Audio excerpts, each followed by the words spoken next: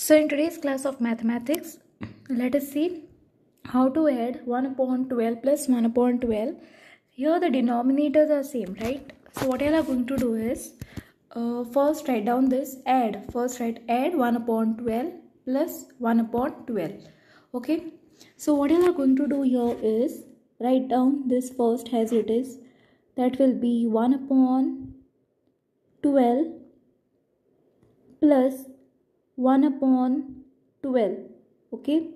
Now here what happens is the denominator is same so we will take it as common. Okay? So first write down this to be 1 plus 1 upon 12 now what is 1 plus 1 1 plus 1 is equal to 2 upon 12 so you have to write down 2 upon 12 okay? Now cancel this term. Okay? 2 ones are 2 2 6 are 12 so we will get 1 upon 6 right? So i hope you have understood how to add especially when the denominator is same. And thanks for watching